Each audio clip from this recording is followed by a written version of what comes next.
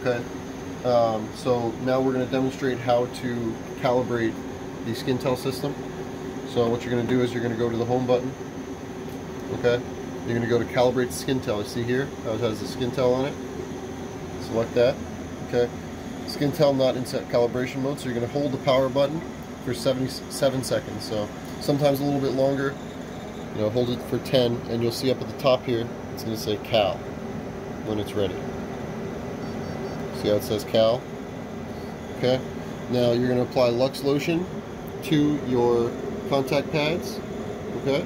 I've already got the Lux Lotion on there. It's a couple drops, that's it. Three to five drops is all it says. Don't overdo it. Continue. Okay.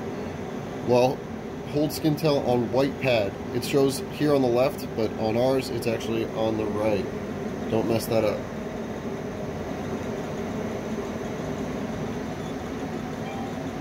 Okay? Once white is finished, it's going to ask you to do black.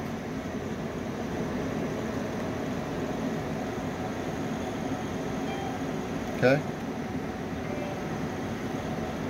Thank you very much.